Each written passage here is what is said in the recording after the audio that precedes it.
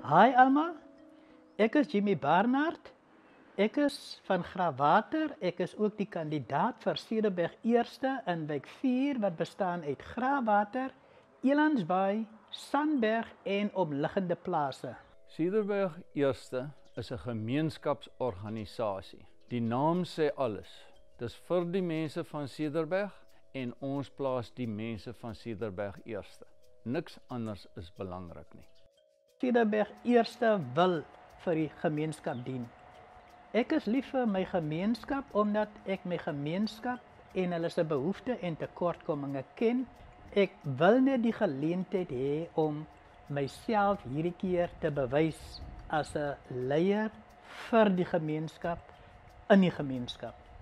Ons as verteenwoordigers van Cederberg Eerste wil graag die geleentheid hê om die omstandighede van ons inwoners van Cederberg te verbeter.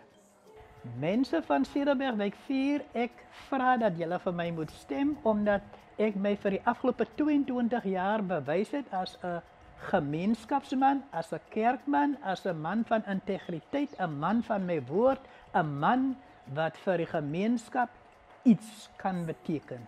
Ek is Jimmy Barnard van Grawater.